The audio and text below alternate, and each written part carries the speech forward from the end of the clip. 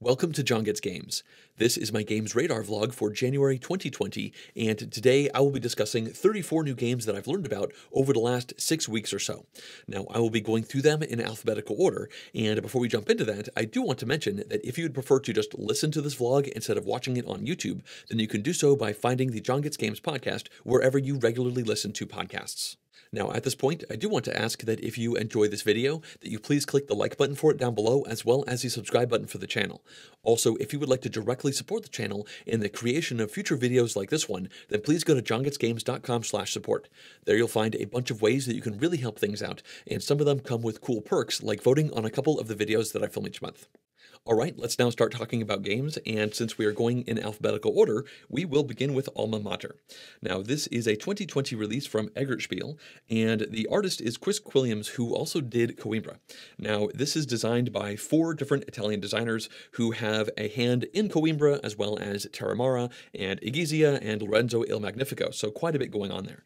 Now, this looks to be a Euro-style game set in the Renaissance. You have drafting, uh, hand management, and tile placement, and in fact, there is an overview video that I watched earlier, and it seems like this is a worker placement style game where you are doing a bunch of Euro-y type stuff.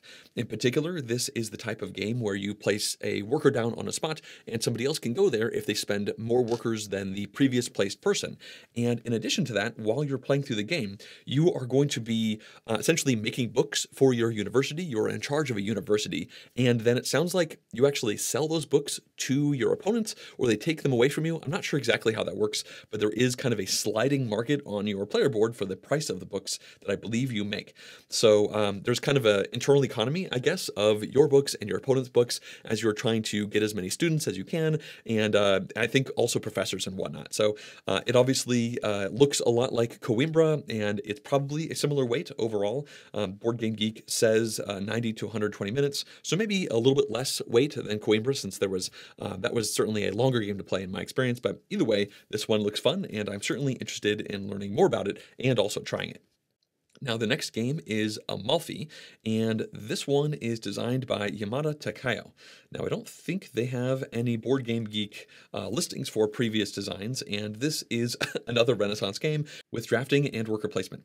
So it says you take on the role of merchants in an Italian port of Amalfi during the Renaissance period. The town was a dominant maritime power during the last century, uh, but the importance is diminishing, and you are trying to essentially recapture that previous success with your tiny little ships. You are going to be purchasing charts to investigate navigation. You're going to be building ships, collecting paints, doing all that kind of stuff. Uh, right now, the uh, Board Game Geek page does not have any photos of the board. It's got photos of little bits, little uh, uh ships and whatnot, and they look interesting. Uh, so I am curious to learn more about this game. It says it's 120 minutes to 180 minutes, so that's not a short game overall for one to four players. And I would definitely like to learn more about what's going on here because there's not a lot of information on BGG.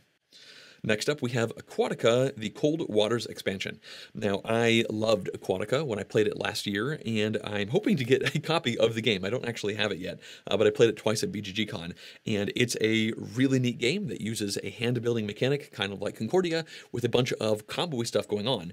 And this expansion essentially has, thematically, the cold waters of the North Ocean rushing into the area of Aquatica, and it's causing a bunch of, I guess, volcanoes to erupt, and the city collapses, and uh, mechanically, basically, this just adds in new modules, uh, new cards, new locations, um, and uh, new goals that you can work towards in the game. And I think um, Aquatica is great, but I also think having some extra stuff to shuffle in, and in particular, some new goals to hunt for, is probably going to be a good thing.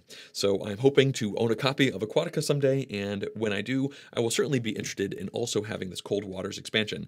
I'm not sure when exactly it's set to come out, but probably at some time in 2020. All right, next up we have Arkwright, the card game. Now, uh, I actually learned about this one because the publisher Game Brewer reached out to me about potentially making a sponsored tutorial playthrough for this game. Uh, that is potentially going to happen later on in the year. I don't actually have uh, some timing on that, but this appears to be a card game version of Arkwright. Now, I haven't actually played Arkwright. I know it is a heavy Euro game about the Industrial Revolution where you're trying to um, use your workforce to generate stuff, and then you start to get automated uh, workforce throws uh, robot type things in to replace the uh, actual humans. And there's a bunch of other stuff going on. I think there's stocks. Again, I've never played it, but this appears to be a card game version of it. So I can't exactly uh, tell you how they are different at this point, but it says there's loans, markets, stock holding, uh, uh, industry, and manufacturing, and a whole bunch of other stuff going on in here. So I will potentially be doing a playthrough video for this, in which case I will learn a lot more about it. Obviously, the designer is Stefan Risthaus, who did design Arkwright, so it's likely to have a lot of uh, similarities to the uh, big board game version. All right, next up we have Astrum. Now, this is coming out from Cosmodrome Games, uh, the same publisher as Aquatica, and uh, this one looks to be all about creating constellations on your board. It says it's a medieval abstract strategy puzzle game with drafting and tile placement. Uh, now, thematically, I guess there's a king who's a wise astrologer, and he wants everybody to like make charts for the future and whatnot. And uh, in this game, you are trying to make these constellations, and it seems like the things that you do will kind of impact the options for your next opponent around the table. Um, you are also uh, trying to score in specific rounds, and there are no images of what this game actually looks like at this point. Uh, it says it's a 30 to 45 minute game, so not particularly long overall. Uh, it does have a picture of the cover. It looks nice. All Cosmodrome games, in my experience, look great, so that does not surprise me too much overall. And I would definitely like to learn more about this, see what the board looks like, see what these constellations look like that you are trying to build out in front of you. And yeah, yeah just looking forward to seeing some more information on BGG. All right, next up we have Bivouac. Now, this is a 2020 game. I think it's going to be going up on Kickstarter. I'm not sure exactly when, uh, but the main reason I'm interested in this game is because of the theme. Uh, I am an Eagle Scout from the Boy Scouts in America, so I have camped a lot in my life.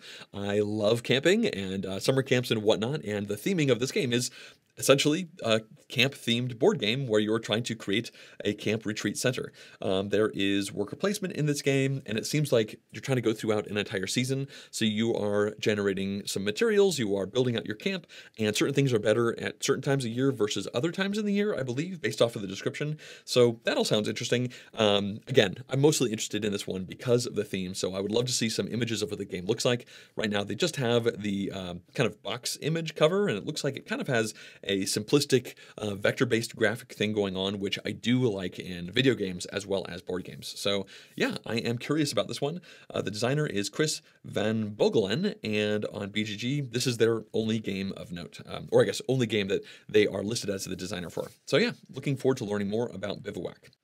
After that, we have Die Verlassen Bibliothek tech or something like that. Sorry, I'm not great at non-English languages. Um, the main reason I'm paying attention to this game is because of the designer. Uh, Leo Colovini uh, is designing this one. It appears to be another escape room type game, kind of like Unlock. It says that, um, oh, it means the Lost Library.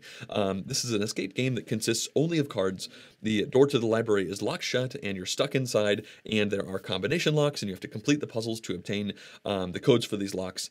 Um, there are a couple images on BGG and it looks like some of the components are actual doors that kind of open up with uh, various puzzles and stuff like that on the inside. Um, it doesn't look like all of these are standard cards. Like maybe that's just the artwork on some of these cards. But either way, it looks like it's a puzzly game, just another entry into the um, uh, unlock style escape room in a box sort of game. And I think Leo Colovini makes some pretty cool games. Um, he has a lot of uh, entries on Board Game Geek. But some of the ones in particular are uh, Think Straight as well as, um, uh, oh, what is it? Uh, Castello Methoni, which I played recently and really liked. Uh, he's done a lot of other stuff, obviously. So uh, either way, I'm quite curious to learn more about this one. Um, we have a bunch of exit games here in the house, which we haven't actually played yet. So if I did get this, it might just sit on the shelf as we wait to get around to playing it. But either way, I, I do like escape room in a box type games, so I'd like to learn more about this. All right, next up we have Die Wikinger Saga. Now, uh, this one, uh, oh yes, the reason I'm interested in this one is because I actually watched the overview video that Board Game Geek did from a recent convention. Um, this looks to be a game that has some deck building, um, it has some simultaneous action selection, and uh, they have quite a few images on Board Game Geek. Unfortunately, none of them really show the main mechanism. now, the way this works is on the board in the middle of the table, there is a track going from 0 to 35. Now, on each round, you are going to draw a big card, and on it, is kind of a subset of those numbers, like 24 to 31, and you line that up with the big track on the board. And then on your turn, you essentially play cards from your hand that have different values on them to move your pawn down the track. I think you start at zero, or maybe you don't always start at zero. But what you're trying to do is land your token on a spot on the, the card that's kind of floating there, which gives you the benefits that you want. Now, some of these are actually bad, so if you overshoot, you might actually lose points or lose money, uh, and sometimes you have to kind of like uh, thread the needle on different uh, options in the middle. Now, at the end of the round, you actually do some deck building to add new cards into your deck, and those cards have new numbers on them, as well as uh, special effects that can activate. So this is the kind of game game where you don't necessarily always want a big number. You might want a one, for instance, to get a bunch of extra points because you just need to go over one more time. It sounds pretty interesting. Honestly, I watched the overview video on BGG and I wanted to play it. it seems like a cool idea on deck building, relatively simple overall as you try to piece together the options on your hand to add up to the spot that you want to go to. I'm not sure what kind of powers these cards have on them, but a lot of them seem to have text. So yeah, I am quite curious. Uh, I think um, every single round you essentially go through uh, a random card and some random events that have other things happen overall. So uh, either way, there seems to be a lot of cool stuff going on here. I'm not sure if it's going to come out in English anytime soon. It's a Schmidt Spiel game, and there is uh, quite a bit of uh, German on the cards. So even if this one is available on like Amazon.de or something like that, um, I would not be able to play it without some serious um, uh, paste ups or whatnot. So I hope this one gets an English version because I would definitely be interested in trying it. All right, next up we have Gates of Mara. Now, this is a WizKids release for 2020. Uh, the designer is JB Howell, who sounds familiar. Uh, looks like, oh wow, he has a lot of uh, games uh, released as well as in contract. It looks like uh, Flotilla and Papillon and some other ones. Uh, Flotilla was a wacky game that came out just uh, earlier this year or last year uh, of like a couple different phases and some Concordia stuff going on. It was like an hour to teach the game. There was a lot of cool stuff in that game, but it didn't end up being my favorite. Uh, but either way, in this game, this is a fantasy area majority uh, worker placement style game. It says it's 90 to 180 minutes, so definitely not light overall. And it looks like you are leading a tribe, and uh, this is a fantasy world with pure elemental energy. Um, and in this game, you have upgradable worker placement and a layered area control mechanic. Um, I guess there's also just thematically like reptiles and uh, insects and elves and whatnot. So you're trying to, uh, it says, strategically position your tribe members around the realms and gates. You enchant your tribe members to give them abilities, and you compete for short term objectives while also, I guess, looking on your influence it seems like there's some cool stuff going on here. Um, there are no images at all, no box cover or anything, so I would definitely like to learn more. Um, this seems like it's kind of my wheelhouse. I like um, midweight Euro style games. Uh, upgradable worker placement sounds cool, uh, so yeah, I'd like to see what's going on in this game. All right, we can now move on to Glasgow. Now, this is a game being published by Lookout Games, and it's a two player only game. And generally, I'm not uh, too uh, focused on those. I don't play two player games all that often uh, with my game group, but this has some pretty cool ideas. Now, I actually looked through, and the designer is Mandela Fernandez Grandon, and this is their only design credit. And it seems like they actually are from Glasgow. So they are uh, designing a game named after the city that they live. And in this game, you are uh, doing a time track type thing. So you are going to deal out all of these cards in a big circle. Um, you and your opponent have a token, and whoever is farthest behind can take their turn to go, I think, as far ahead as they want to to activate a spot. And what you're doing is you're constructing a 4x4 grid in the middle of the table that's kind of shared of a variety of buildings and cards that will give you bonuses and benefits based off of other cards that are placed down. And I imagine these are affected by the actions around the outside of the board as well.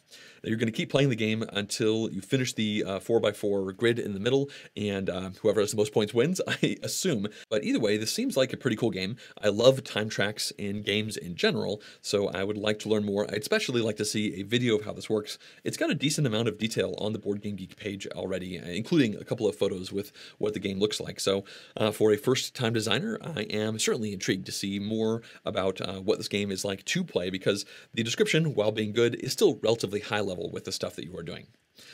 All right, the next game is Golem. Now, this is being published by Cranio Creations, and this is being designed by three Italian designers. Um, they are, once again, the same people who are behind Coimbra, Lorenzo Il Magnifico, Terramara, Egizia, and whatnot. So um, these people obviously work together quite a lot. Now, this is a 90 to 120 minute Euro style game where you have action drafting, you are rolling dice, uh, there is variable player powers and set collection, a whole bunch of stuff going on, and it seems like it is thematically all about um, the 16th century legend in Prague about clay golems being uh, given life, essentially, and uh, wandering around doing stuff, potentially becoming too powerful and destroying things. But the, the biggest thing, why I'm curious in this, besides the designer pedigree, obviously they've made some cool games, is this down here. It says the game is divided into five rounds, and at the beginning of each round, players place 15 colored marbles into a 3D synagogue that will split them into five lines corresponding to the five main actions available in the game. Now that sounds interesting. I'm hoping that this is simultaneous so that as you are trying to place these 15 colored marbles out, you are um, doing it at the same time as other people because that could probably take a while. And it seems like the color of the marbles is impacted by some, some of the uh, things that you get to do later on in the round. And the location of the marble within that given uh, grid is going to dictate the power and different actions that you can do as well. Um, so it seems like a pretty cool idea. And unfortunately, they do not have any images of what this looks like.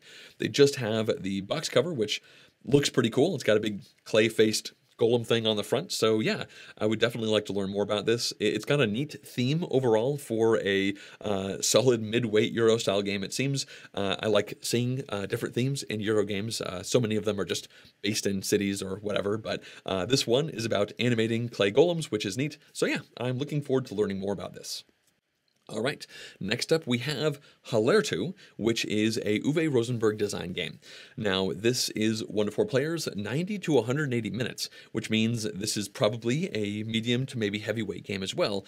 And it's been a while since Uwe Rosenberg has come out with a heavy game. He's done a lot of lighter games recently, and there is not a lot of information on BGG about this game right now. It says this is a farming style game with worker placement, and specifically it says that this combines classic worker placement mechanisms with the thematic thematic implementation of a traditional two field crop rotation and thus offers the players an interesting historical background. Now, it says that apparently uh, this uh, is located in Bavaria, which is the largest contiguous hop growing area in the world. So you are making hops for beer, it seems like thematically.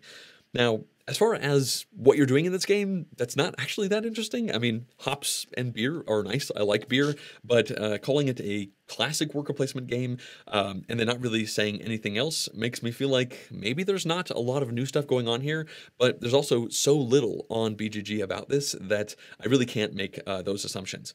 Um, down below, there are a couple of uh, forum posts already, and in one of them, somebody found a breakdown of the contents in the box, and it looks like it has like 300 cards and 18 punch boards. So maybe there's a lot going on in this game and they just haven't fleshed out the description overall. Uh, 300 cards is a lot, 18 punch boards is also a lot, so maybe this is going to be like a Feast for Odin style game of just components like crazy and a whole bunch of stuff to do. Uh, but right now, at the moment, we don't actually know much, but either way, I am quite curious to learn more about it. All right, next up we have Hatairo. Now, the reason I know about this game, well, I mean, I bumped into it on Board Game Geek, but also uh, the publisher for this one reached out to me to make a sponsored tutorial style playthrough. Now, I've actually filmed that and edited it up already. It's not going to go live for a few weeks. It's going to go live in the middle of um, uh, March, and this is a game all about trying to get pigments together to create flags of the world. And you put them down into a grid in front of you where you will um, get extra pigment based off of the location and and also the location is going to dictate a bunch of bonus points based off of the like uh, stuff on the flags. Like, does this flag have lots of diagonals on it, or does it have animals on it? Does it have letters, or you know, uh, the number of different colors on the flag will dictate the amount of points it has. So that's all kind of interesting. I mean, again, take this with a grain of salt. I was paid to make a video for this game, uh, so definitely keep that in mind. But um, also, if this sounds interesting to you, then uh, keep your eye out on this channel because in a couple of weeks I will be putting out a full playthrough of it, so you'll get to learn everything everything about it that you'd like to know. All right, next up we have Khôra, Rise of an Empire. Now, this is being published by Iello Games in 2020, and there's not a lot of information on BGG right now. It says in this game you are the ruler of a resplendent city in ancient Greece. Uh, it's up to you to develop it faster and better than your opponents, and there's really not a lot of details about how this game plays. It says that there is dice rolling, and down below there is an English video on BGG that I watched. Unfortunately, it's only about four minutes long, and they didn't talk about the mechanics at all. they just kind of gave a high level overview of the game, saying it's essentially a race game and that they tried to make it relatively streamlined so that it's a quick game to teach and to get out onto the table. Now, they do have an image of what the game uh, looks like when you are playing it. It seems like everybody has a private player board with some uh, inset tracks with like a double layer player board. Um, apparently, you're racing to do a bunch of stuff. There are four big tracks in the middle of the board and a whole bunch of icons going around. Uh, there is dice also in this game. I'm not sure if you are drafting them or just rolling them, but I'm curious. Uh, the, the art looks nice, and Iello Games makes some pretty cool stuff. They don't actually have a designer listed at this point, but uh, either way, I'm quite curious to learn more about this one, specifically to learn about how the dice rolling mechanics work and how the racing mechanics work in the game. All right, next up we have Machination. Now, this one is uh, not very fleshed out on BGG. It says this is an abstract strategy puzzle game with card drafting, pattern building, and set collection. Now, the reason I'm mostly paying attention to this is because it is designed by Matthew Dunstan and Phil Walker Harding. Now, that's a pretty good design duo. Uh, they have made a lot of very cool games. I'm not going to start uh, uh, listing them out here right now, but um, yeah, a lot of uh, fascinating ideas and good uh, design decisions have come into the games these designers have made in the past. Now, this is coming out from Cranio Creations, and it says that in this game, uh, this is a vehicle dismantling depot, and you have to choose the right cars to pile up in your warehouse. You try to be the fastest player to fulfill common objectives to receive best, the best bonuses, and you don't want to forget to respect your stock requirement. This is a 30 minute game, two to four players. I'd like to learn a lot more about this game. There's no images, there's just that two sentence description. So I am interested enough from the designer pedigree of this game. Uh, and also, the publisher Cranio Creations puts out some great stuff, certainly some good looking games. So I am hopeful that this could be an interesting game, and I am uh, hoping that that uh, becomes the case as they add more stuff out here onto BGG. All right, we now have Maharaja. Now, this is also being published by Cranio Creations, and I am probably going to be doing a sponsored tutorial playthrough for this game. Uh, it's having a Kickstarter go out in April, in the early stages of April, unless the timing changes. And this is actually a re-implementation of Maharaja, which came out many years ago, uh, 2004, so uh, 16 years ago. Now, I have not played the original Maharaja. Um, I believe this one and the uh, old one were both Michael Kiesling And Wolfgang Kramer. It looks like that is the case. Yep.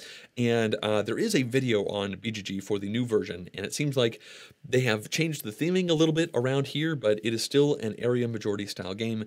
And uh, what you're doing in this game is actually simultaneously selecting what your action is on each round, uh, hiding it from your opponents, and then when it's your turn, you reveal with a little dial with some uh, uh, specified uh, little arrows for what, what the action that you did, and then you do that action. Now, it seems like this new version has more replayability, I think. Um, they also added some other mechanics, so I think it's going to be heavier than the original version. But again, I never actually played the original version, so I can't really speak to that. Um, but if I end up doing a sponsored playthrough for this game, I will likely learn a lot more about this one in the next few weeks. And uh, I think that Kramer and Kiesling have made some really cool games out there in the past, so I am quite curious to learn more about this one and have a chance to actually play this one on camera. All right, next up we have Man Maus auch gönnen können. now, uh, translated, this one means you have to also grant others something. Now, uh, I'm probably just going to call this one Gun and Conan in the future because, uh, well, I've actually bought the game already. Uh, now, there is an overview video on BGG, and I watched it, and I became very intrigued. So this is a roll and write style game where you have these square cards, and uh, when it's your turn, you roll all the dice, and then you get up to two rerolls. Now, you're trying to get a set of specific requirements on the dice that you rolled to fulfill the requirements on the cards in front of you. And uh, if you don't, then you can re-roll the dice, and every time you re-roll, every one of your opponents can take one of the die rolls that you just re-rolled and mark that off on one of their cards, which will make that card easier to complete when it is their turn. Now again, you have to completely, uh, fully complete a card on your turn, so the more individual requirements you tick off on other players' turns, the easier it will be to complete them when it is your turn. Now, uh, you're trying to complete a three by three grid, and some of these cards that you complete will give you um, uh, special bonuses and actions to manipulate your dice a couple times in the game, and other ones just give you ways to score victory points. And that all sounded super interesting to me. So I looked it up on Amazon.de, and there was a copy for like $15 shipped from Germany all the way here to California. Um, and then after I did that, a couple of reviews came up on BGG, uh, and they're not super positive. there are people kind of complaining about how random it is and how there are some disadvantages to going first. But I guess I'm going to learn about it because I had already put the order in uh, once I read and uh, watched these reviews that were not quite so glowing.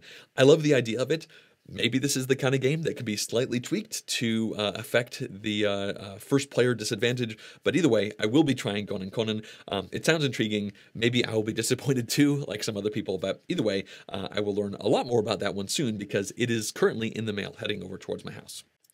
All right, next up we have Merchants of the Dark Road. Now, uh, this is published by Elf Creek Games, and I am planning on doing a sponsored tutorial for this game. Uh, it popped up on BGG recently. I've actually known about this game for many months, you know, like four or five months or so. Uh, now, I got to, actually, no, I've known about it for longer than that. I played a prototype version of this one at Origins last year in June. So, yeah, this has been on my radar for quite some time.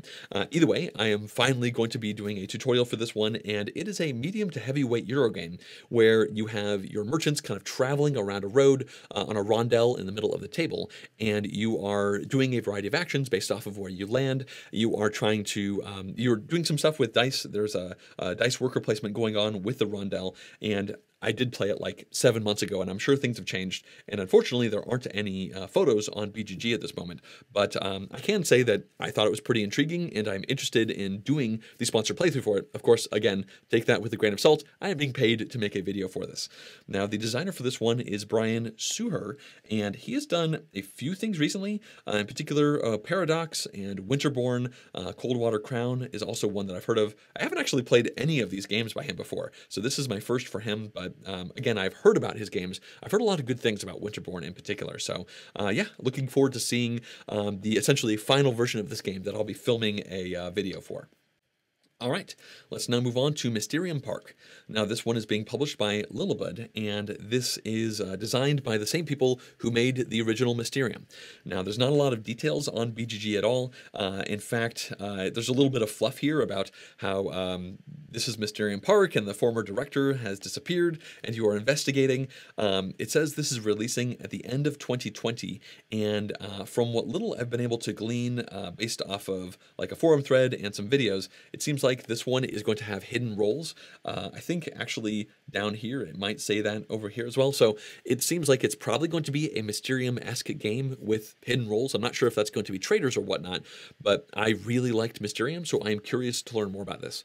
Honestly, I don't generally like hidden roles in games, so there's a distinct possibility that the more I learn about this game, the less interested I am in playing it. But there's so little on the internet about this game right now, so I would still like to learn more before I actually uh, make that decision. All right, next up we have Novgorod.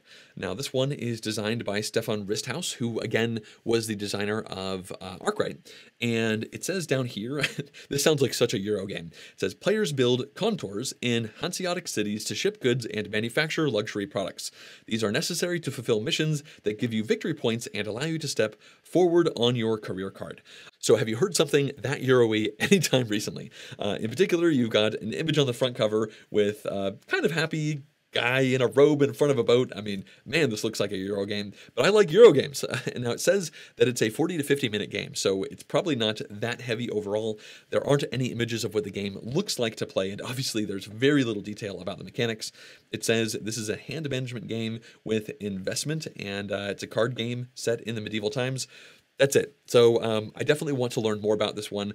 I have been finding myself gravitating towards some simpler Euro games recently. There's a lot of very complicated, very cool, very thinky games coming out right now, and I'm kind of rebounding away from that and looking for more games that have like three to six page rulebooks instead of 12 to 20 page rulebooks, and maybe this is going to be one of them. I don't know. Uh, either way, I definitely want to learn more about this one. All right, uh, next up we have Paris. Now, this one is a Kramer and Kiesling game. It's being published by Game Brewer, and unfortunately, I am not going to be doing a sponsored playthrough for this one because my schedule was too full. Uh, they reached out to me to ask me to try and do it, and I am super booked out right now, like all the way to June. So I was not able to fit this one in, even though I am quite intrigued by it. It's a 45 to 100 minute game. It's a city building economic game with an action queue, deck building, hand management management, uh, uh, set collection, a whole bunch of stuff going on. Uh, they have a bunch of photos of what the game looks like, and it looks really Euro-y. Uh, you have little uh, uh, player screens that look like little houses. You've got a big circular board in the middle of the table with a bunch of face-down tokens and a bunch of face-up cards on it. it there's just looks like a whole bunch of Euro-y stuff going on here, and I like things that Kramer and Kiesling have done in the past. So I'm looking forward to seeing the Kickstarter campaign for this game to learn more about it because, again, unfortunately, I had to say no to actually covering this one on the channel. So uh, yeah, I'll definitely learn more about this one soon. All right, next up we have Quetzal. Uh, now this is designed by on Alexander Garcia, and I think he's done a couple things. Uh, oh, just Diluvia Project. Now that was a uh, cool game that came out uh, back in 2016, I think, 2015, and uh, that was a pretty heavy worker placement style Euro game. Now, this game does not have a time listed on it, uh, so I'm not sure how heavy it is, but it says down here that Quetzal, the city of sacred birds, has just been discovered. You have five days to explore the site and collect the most beautiful objects that are buried there. You, uh, will you be able to manage your team uh, and trusted to you on a daily basis to optimize your excavations? So it seems like um, each turn you are rolling meeples, um, which I'm assuming means this is dice worker placement. It doesn't have any mechanisms listed. And then you send your groups out to different uh, spots in the city to collect artifacts, and um, your opponents are obviously trying to do this as well. So it seems like, actually, you know, after reading this again, that this is a pretty typical go raid an ancient city kind of theme game, which I'm not actually super jazzed about. So uh, either way, we'll learn more about this one in the future. Right now, they don't have any images of the game or any uh, videos about it online, but I'm, I'm curious to learn more about it, but I guess that theme, uh, you know, it's the same kind of thing like raiding Egyptian tombs and whatnot. Uh, it's not great, but but either way, either way, uh, let's now move on to Renature. Now, this is another Kramer and Kiesling game they come out with a lot of games, uh, and this is being published by Deep Print Games. Now, this is a brand new publisher. In fact, I just watched a uh, video, a little interview with uh, one of the people with Deep Print Games talking about the creation of it. And um, the people behind this uh, uh, publishing company are from Frosted Games, Pegasus Spiel, and Eggertspiel, I think, and maybe some other things. So they are creating a new game, uh, a new publisher that is, all about. Um, they said the Deep is for deep development in their games. So they're really focusing on uh, heavily developed games. Uh, now, this is going to be the first game that's coming out from this new publisher, and the description is is definitely light. It says Renature is an area control game with dominoes, and that's it. That's that's really the only information we have out here besides the designers and the publisher. So I'm looking forward to seeing some images uh, and some more mechanics listed out. Uh, I don't mind dominoes, and I have never played an area majority dominoes game before, so I'm curious. Uh, and also, Kramer and Kiesling are just very established Euro game designers. They make a lot of good stuff. So I am confident this one is going to be good. I would just uh, certainly like to learn more about it. All right, we can now move on to Skyrise. Now, this one is being published by Roxley, and this re implements Metropolis. Uh, now, they've actually reached out to me about potentially doing a uh, sponsored playthrough for Skyrise. Uh, I'm not sure the actual timing uh, for it. It sounds like there might be a Kickstarter for it, so uh, that may or may not happen in the future. I'm, I'm not sure. Uh, but it seems like this is a standalone sequel to the 2008 Metropolis game. it's based on a similar spatial bidding mechanism, but it also says there are many things that are new over overall to this game. Now, I never actually played the original Metropolis. Uh, it's got a really funky looking board. I've definitely uh, seen images of it before. Um, I know that you are bidding to actually be able to place these tokens down onto um, the different spots on the board. This is uh, definitely a Euro looking city instead of like an American one. This is not a grid. It's all kind of got funky shapes and whatnot. But uh, either way, Skyrise is supposedly a uh, standalone sequel to it. So I am looking forward to learning more. Uh, hopefully, I'll be able to cover this game on the channel. Uh, uh, hopefully, the timing is going to work out. Right now, that's a little bit up in the air, but it could happen. Uh, and I enjoy um, that kind of game where you're trying to put things out and compete for areas on a grid. Um, I'm not usually crazy about bidding, but it sounds like this one might have kind of a Ra type bidding where you have unique numbers, and the amount of bids is actually dictated, I think by the number of free spots around the locations. So there seems like there's some cool stuff going on here. I'm definitely looking forward to uh, learning more. I guess I could have watched a video to learn more about Metropolis, but I didn't actually do that much research, I guess, before I started recording this. But either way, I'm looking forward to learning more about Skyrise. All right, let's now move on to Small Railroad Empires. Now, uh, this one I don't know much about. Uh, I certainly haven't heard of the publisher Arcana Games before, or Ar Archona. Uh, now, it says down here that this is a pick up and deliver track laying game uh, where you are essentially uh, placing two trains out onto a modular board each turn. You have to pay gold costs for different terrain, and they do have some images of it. Uh, looks like it's a hex grid with a variety of different types of terrain, and based off of the photo of this prototype, um, it appears that multiple trains can go on the same spot. Now, I don't know if it's going to cost extra to go where other people have been, but I am finding myself enjoying these kind of logistics games more as the years go on. Uh, so I'm curious to try this one out, or at least learn more about it. Uh, uh, they just have photos of the prototype up here right now on BGG. And interestingly enough, um, it says it's a 30 to 60 minute game. And I looked into the designer of this one, which is Milan um. And the only other design credit that he has on BGG is Small Star Empires. So it seems like this is kind of a, uh, uh, shtick for him, uh, trying to have uh, small versions of uh, big sprawling games. I think that Small Star Empires was kind of like a uh, miniaturized, quick version of a 4X space style game. So uh, yeah, there seems to be some pretty neat ideas going on here. there's even variable player powers, it appears, and set collection. So I'm looking forward to learning more about this game. All right, next up we have Sonora.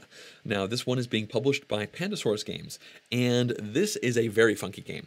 Now, they have an overview video up on BGG, but I'll tell you right now, uh, the, the, the idea of this game is that it is a dexterity flicking roll and write style game. So the way it works is in the middle of the table, you have this kind of mini crokinole board type of uh, uh, structure. I say crokinole because it's got a hole in the middle that uh, is good to land your piece into there. And you're going to be flicking around your discs that have a variety of different numbers on them. And this board is split up into four quadrants. Now, after everyone has flicked their discs and knocked each other's discs around, you will then uh, use the discs uh, to do four different, totally different mini games on your uh, piece of paper that you have in front of you. Now, the value of the disc and the location of the disc within that flicking grid, or that flicking um, uh, area is going to dictate the uh, the things that you can do on these mini games. Uh, one of them involves just checking off a bunch of little hexes in order to finish that uh, grouping uh, earlier. Another one has the value of the disk uh, apply to a tetromino type uh, shape like Tetris, and you like place that down into a grid to get bonuses. Another one has a branching tree path where you like if you use a three, then you cross off two things and circle the third spot, and you get points for that spot that you landed. And the final one is like a big network for a city, and you're trying to cross off different lines and get points for that.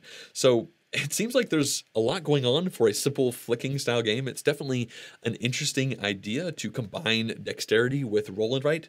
Uh, so yeah, I am curious to try this one. I don't think it's necessarily the kind of thing that I would rush out to try and acquire for myself, but uh, this is certainly a game that I would try at a convention just to uh, say that I did. Um, it might be great. I'm not really sure. It seems like a very strange juxtaposition of those two mechanics. Uh, so I can't really say until I potentially have a chance to try it. All right, next up we have Steampunk Rally Fusion. Now, this one is being published by Roxley Games, and this is a standalone uh, sequel essentially to Steampunk Rally. Now, this is a game that I covered years ago on the channel, uh, way back when, like four or five years ago, Roxley did used to send me uh, uh, review copies of games back when I used to review games, and I actually did a full playthrough of this game. Uh, this was long before I ever took any money for any of my content. Uh, I liked Steampunk Rally. It's a drafting style game where you're building this crazy uh, um, engine, like race car engine thing in front of you. You then use dice to power up that engine to get some really cool combos going on, and then you hit hazards and your your racing car kind of falls apart. It seems like this this is doing the same kind of stuff, although it says it's science fiction related. So I think thematically, this one may be kind of in the future, where the original Steampunk Rally was kind of like old timey stuff. It was like uh, Tesla versus Marie Curie versus Einstein and whatnot. Uh, so I'm curious about this game. I mean, I, I enjoyed Steampunk Rally uh, for the many plays of it that I had. I actually got rid of a copy of it, and uh, Roxley has said they're going to send me a copy of this game uh, for my impressions vlog. So I'm not sure, probably not going to do a sponsored playthrough of this one, but I will have a chance to play it at some point in the future. All right, next up we have Succulent. Now, this one is being published by Renegade Games, and the designer is J. Alex Kevern. Now, he has designed a lot of games, some of which I like quite a bit, and other ones I'm not super hot on. But some of my favorite games from J. Alex Kevern are uh, Passing Through Petra. I also really like Gold West. Now, in this game, it looks like you are trying to cultivate a succulent plant garden, and they have a bunch of images on BGG, which I love to see, and it seems like this is actually a game where players are doing tiling on a central area. Now, the tiles that you're putting down appear to have holes in them, uh, so I'm not really sure how this is all going to work. Like, do you place the tile and then maybe fill the holes in later on? I'm not sure how the communal nature of this works, but I do know that uh, players have a little player board in front of themselves, let's see, um, where they essentially have a variety of different succulent type of plants and you're i guess putting little water droplets down on them to try and score points. There's not actually a lot of detail about the mechanics of this game on bgg it's definitely about the theming as you are trying to uh, collect succulent cuttings from your garden and then you want to get water crystals to use them to complete your projects and whatnot. So it definitely seems like it's a euro style game. It says abstract strategy but I like tile laying games. I like succulent plants when it comes to just like not talking about board games at all. And I think that J. Alex Kevern comes up with some pretty cool design ideas. So I am looking forward to seeing the actual mechanics of this game because I think I am pretty well set up to enjoy it. All right, next up we have Tekhenu Obelisk of the Sun. Now, this one is being published by Board and Dice, and the designers of it are Daniele Tascini and David Turczi. Now, I believe the two of them were also uh, had a hand in uh, Teotihuacan. Is that true? Yes, it appears that it is. Uh, so Teotihuacan was a uh, heavy uh, rondel game with dice and whatnot. I think David Turczi just did the uh, solo version of Teotihuacan, but um, this appears to be another heavy uh, Euro game. This time with uh, David Turczi being one of the the main duo of designers doing the actual full game. Now, this is being published by Board and Dice, which means I am going to be doing a sponsored playthrough for it. I have a great relationship with that publisher. Um, they have told me that they want me to make a sponsored tutorial video for essentially every game that they make, which is uh, great for me from a business perspective, and I guess it's great for you all if you enjoy the types of games that they make. Uh, they definitely make a lot of medium to heavyweight euros.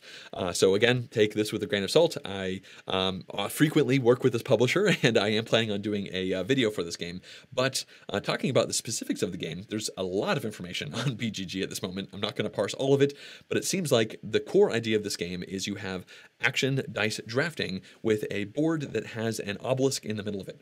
Now, uh, the idea here is that the uh, sun is going to cast a shadow around the obelisk as it goes through the sky, and the location where you draft dice is going to, um, well, the uh, things that you can do with the dice is going to vary based off of how in the sun they are. Uh, I guess if they are fully in shadow, then they're like corrupted bad dice, which means probably bad things for you, or maybe bad things for your opponent. I'm not actually sure about that overall, but I do know you are drafting dice from the middle of the table to put them onto your own player board. Your player board looks to have some tracks and some various Euro type things that are going on, and I know that the sun is essentially going to move throughout the game, so the areas that are in shadow in the middle of the board are going to change. So all of that stuff sounds pretty cool. I like games from both of the designers of this game. Uh, I like a lot of games from Board and Dice, and uh, it definitely seems like a medium to heavyweight Euro game, uh, which I have oftentimes enjoyed in the past. So yeah, uh, looking forward to having a chance to cover this one. Uh, I'm not sure offhand when this one is supposedly coming out. Uh, definitely 2020, but I think uh, later on in the year, in the second half of the year or so. All right, next up we have Castles of Tuscany. Now, this one says it re implements the Castles of Burgundy, and that's essentially the only information about it on the internet, besides the fact that it is designed by Stefan Feld, who did design Castles of Burgundy. Um, now, they have an overview video on BGG, but unfortunately, all they say is, well, the name sure sounds a whole lot like Castles of Burgundy, wink, wink, make that of that what you will. Wink and that's it. so um, I kind of figure, considering it's listed as re-implementing Castles of Burgundy, it will probably have um, dice uh, worker allocation. It will probably have uh, a board, maybe even hex grid, where you are placing down your uh, different uh, types of tiles to activate different things, like Castles of Burgundy. I quite liked Castles of Burgundy, so I'm curious to see what kind of tweaks and differences the Castles of Tuscany bring. Uh, certainly, I think a lot of people, currently 768 people subscribing to this one on BGG, want to know a lot more about it than just, well, wow, the name sounds a lot like Castles of Burgundy. So hopefully more information will come out for this one soon. All right, next up we have The Coldest Night. Now, this one is being published by Indie Boards and Cards, and it doesn't necessarily scream out to me as being in my wheelhouse, but I don't know, something about it made me curious to learn more. Now, it says it's a 20 minute cooperative game where you are trying to feed fuel onto a fire to keep it lit. Now, that essentially seems to be the entire thing that you're doing in this game. You have uh, cards that will give you a certain amount of heat. Uh, it also requires the fire to be at certain levels. The fire is constantly dying out, and players have to work together against the encroaching cold to sequence their cards so that everything in the deck is burned. So it seems like maybe this is kind of a uh, puzzly game where you only win if every single card goes away. They do have a couple images of the game, and it looks like there's like uh, rotten floorboards, there's a chest, there are photographs that all can get thrown into the fire. There's some tokens and whatnot, and these cards do have numbers on them, and, and uh, yeah, so it seems like it's probably a cooperative group puzzle trying to get through these hands of cards as well as you can. It doesn't explicitly say it, but in general, this kind of game usually has uh, some restrictions on the kind of communication that players can have. Uh, I imagine if you could just say everything, then it would be easy to get through the deck, but I could be wrong. Uh, there's not a lot of information about that on BGG yet. It only plays in 20 minutes, and I don't know, just something about it intrigues me. You know, I kind of expected there to be like zombies coming in the dark or anything like that, and uh, nope, it seems like the enemy in this game is just the cold. You're all trying to keep the fire going, and I don't know, for some reason it has me intrigued. So uh, I definitely want to learn more about this. All right, we have three games left to talk about, and this one is The Lost Code. Now, the designer for this one is Leo Colovini, uh, who has made some cool games in the past. I've already talked about him earlier on in this vlog. And in particular, the moment I uh, realized I had to subscribe to this one is when it says that it re implements Think Straight. Now, Think Straight is a game that came out many years ago, uh, back in 2015, and this is a deduction style game where, uh, kind of like Hanabi, you have some cards in front of you that face out to everyone else, but it's a competitive game where you're trying to, I, send, I think, race to be the first person to figure out what all of your numbers are. Now, the way Think Straight worked, I believe, I have not played it, is that you essentially make um, educated guesses about the range of uh, values of the different cards in front of you, and then your opponents tell you how close you were, and then you write down your notes on your pad and try to figure out what your numbers are from there. And I always thought Think Straight sounded cool, and the reviews of this game uh, in general said this game is really cool, and the components are awful. Like apparently the cards are just like super flimsy paper and just just really not a good table presence. And then it was very hard to come up with a copy. There are no copies of it on BGG, so I've been curious to try this one for years because I like competitive deduction style games. So um, now here comes The Lost Code from the same designer. It re-implements this game, and it looks really cool. They have an image of a render of the game, uh, and it looks like it kind of has a uh, kind of Central American uh, Mayan kind of artistic vibe going on. Um, I'm not sure how much has changed with this game. I'm not sure if it's a straight reprint with better art and components, or hopefully better art and components, or maybe they've tweaked the rules around a little bit. But it looks really cool. I like competitive deduction games. I like the idea to have a chance to play things straight, especially with potentially not awful components overall. So I am uh, pretty excited, honestly, to try this game. Uh, there's not a lot of information about it out there besides, of course, being a re-implementation of Think Straight. But for me, I think that's enough. All right, next up we have Village Green. Now, this one is being published by Osprey Games, and it is a 30 minute game designed by Peer Sylvester. Now, I think they've designed one other thing. Oh, no, a few other things. Um, the Lost Expedition, North American Railways, Wir Sind Das Volk. Um, well, I've only played The Lost Expedition from all of these, and I quite liked it. Uh, that was a, um, a, competitive or cooperative game about trying to find your way through a jungle. And uh, either way, what's going on in Village Green is this is a competitive game where you are all trying to essentially vie for a, village green of the year competition, essentially cultivating the plants and trees and whatnot on uh, your property. Now it says you are rival gardeners and you are trying to, uh, let's see here, uh, uh, range flowers, plant trees, commission statues, build ponds. You have to place all of these carefully, and you have to split your days between acquiring and installing new features for your green and nominating it for one of the competition's awards. So that all sounds like fun. I, I, like the theme overall. It seems kind of pleasant, competing to have um, nice uh, backyards being rival gardeners overall. It seems like it might be tile laying. They, they haven't actually listed any mechanics, but I do like tile laying in general. Um, saying 30 minutes worries me a little bit just because I generally like this kind of game to be more like a 45 to 60 minute style game. But either way, I'm definitely curious to try this one out. And I will probably have the opportunity to, considering Osprey Games seems to send me a copy of everything that they make. Um, they have yet to actually sponsor a video, but they do send me free copies of games to try. So uh, it would not surprise me if one day I come home and this game is sitting on my doorstep. All right, let's now talk about the final game for today, the 34th game, and this one is Watch. Now, the designer of this game is Daniel Newman, who has designed a few other things recently, like Rolled West and uh, Dead Man's Cabal, and this game is being published by Spielpunks. Now, this game has a pretty cool theme, I think. It says you've just started working at a Soviet watch factory, and you've discovered it used to be a World War II era munitions factory. You have been sent here to make gears, which you can sell for money, but you also need those gears to disguise the munitions crates that you try to smuggle out. So you are digging through files in the foreman's office to uncover evidence of the governor, government's corruption. You are also monitoring your opponent's areas because they're trying to do all of these exact same things. So it says that it's a Euro game that blends the theme and mechanics really well. Um, and yeah, that seems kind of neat. Like, I'm working in a watch factory making gears. Definitely don't look at all this pile of munitions I'm trying to smuggle out while everyone else is trying to do the same thing. Um, they don't actually have any images of the uh, game board, like what it looks like, but they do have the box cover, which kind of has a noir, kind of old timey vibe to it. Uh, definitely kind of a spies and thrillers thing of somebody looking through the uh, eye hole of a door with a big watch going on. Yeah, this game just looks neat overall. I definitely want to learn uh, quite a bit more about it. It seems like the kind of game I'd like to play. I am mostly a Euro game player. So theme is not in the forefront of my decision making for games that I play, but I do love it when a theme is well integrated into the mechanics, and according to the publisher, that is the case with this game.